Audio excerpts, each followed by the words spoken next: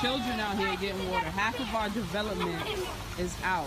These are shocking pictures out of the Bronx. Children forced to use buckets to ferry water to their homes from a fire hydrant. The Patterson Houses in Mott Haven section is home to some 4,000 people who were forced to endure third world conditions. The video posted to Twitter brought this response from NYCHA.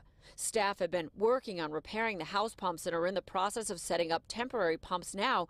This is yet another example of the problems we face given our aging infrastructure. But we must do better providing basic services despite these challenges. The NYCHA site early Monday showing water was restored, but for so many, the damage already done by NYCHA's disappointing service record.